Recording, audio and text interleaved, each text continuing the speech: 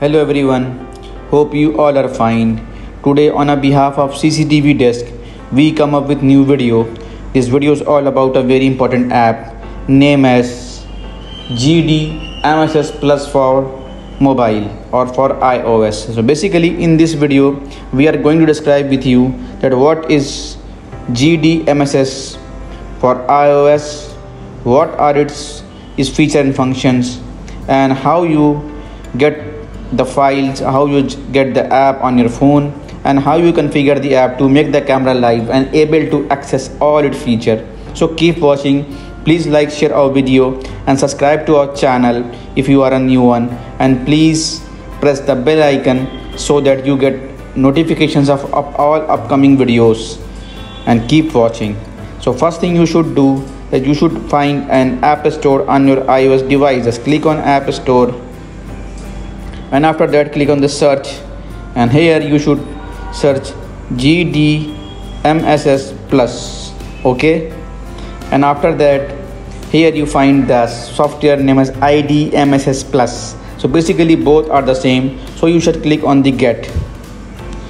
When you do this it asks you confirm confirmation just double click and after that it start downloading on your phone. And now it's talking about its feature and functions.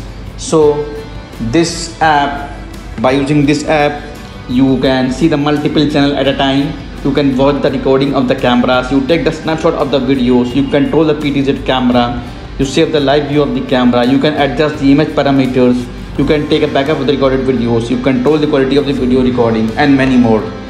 Now after that this is all about feature. When you configure correctly you are able to access all the features that we are discussing in this video.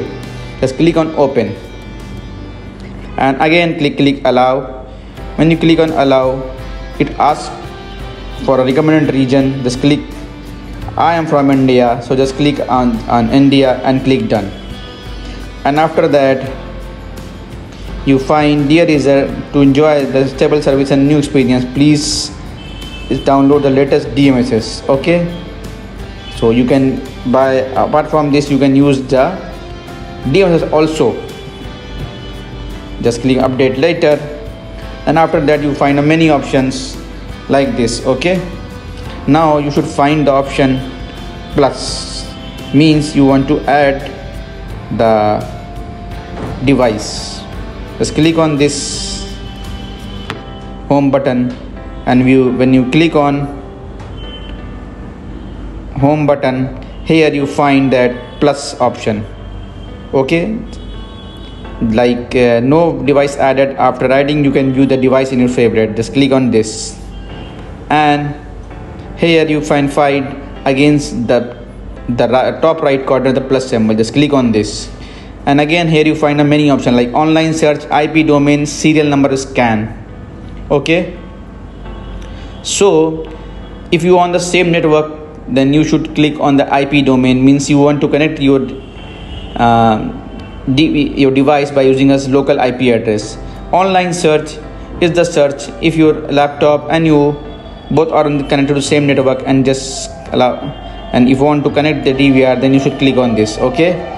And if you want to connect connect any remote locations NVR or DVR or device then you should click on serial number scan. When you do this click ok. Again you see that this is asked for a qr code. If you are in front of the device then you should select this option. Otherwise you should click manually enter sn so in my even it's an option of photo gallery like this. If you have a gallery option if you mean somebody send you uh, that qr code then you should select that code from gallery also and if you have a serial number noted just click on the manually enter sn and when you click on this it asks for a serial number. So here i enter my serial number. So basically this is my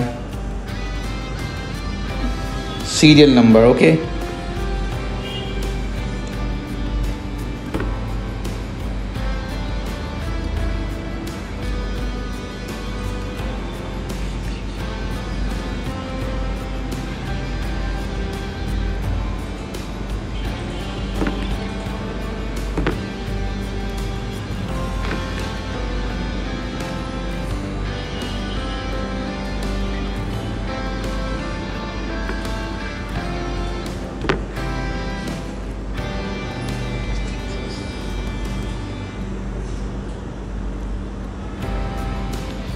so this is my serial number.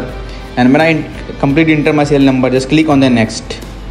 And here you find a lot of options like wide camera wireless camera NVR DVR and many more. So for this you should click on uh, NVR because in my, in my case I am using NVR and I want to connect NVR just click on the NVR and again it asks for a device name. So you should put any name here. It's all upon your choice. But please use that name which are able which is easily remembered by you so that you can if, if you want to add a connect a multiple device and you want to connect one of them then you you can easily remember what device you are showing you are watching. And just click on the password. Here you should enter the password.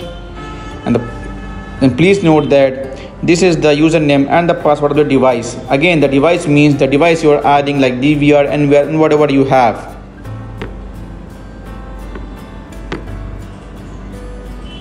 And just click on the save button. And it totally depend on this internet speed at your end and your remote locations. And after that both devices are connected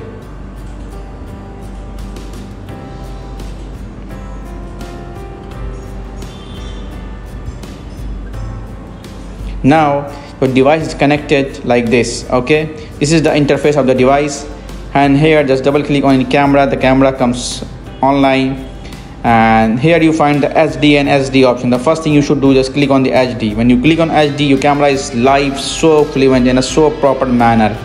And when you click on SD your camera little blurred like this okay? And here in the top of the list you find a mic option. Just click on this